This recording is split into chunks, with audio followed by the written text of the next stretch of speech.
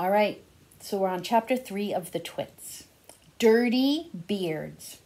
As you know, an ordinary unhairy face like yours or mine simply get a bit smudgy if it's not washed often enough.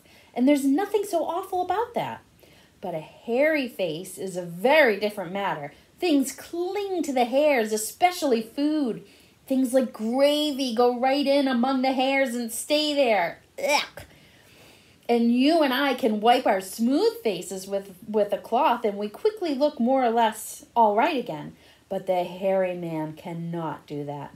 We can also, if we are careful, eat our meals without spreading food all over our faces. But not so of the hairy man.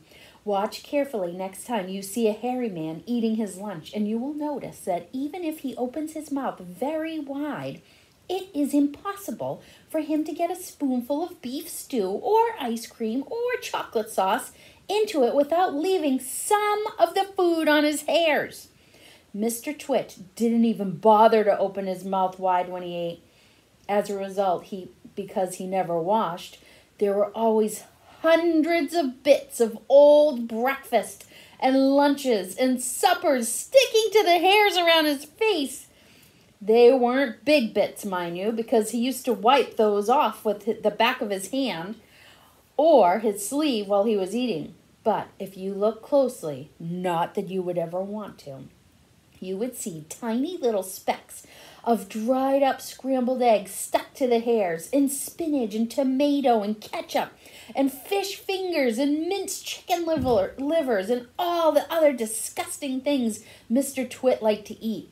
If you look closer still, hold your noses, lady and ladies and gentlemen. If you peered, peered is another word for look. If you peered deep into the mustachy bristles sticking out all over his upper lip, you would probably see a much larger object that had escaped the wipe of his hand. Things that had been there for months and months, like a piece of maggoty green cheese or moldy old cornflake or even the slimy tail of a tin sardine. Ugh. Because of all this, Mr. Twit never really went hungry.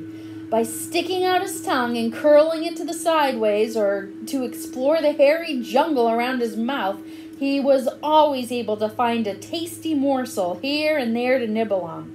What I'm trying to tell you is that Mr. Twit was a foul and smelly old man. He was also extremely horrid old man, as you will find out in a moment. And that's the end of chapter 3.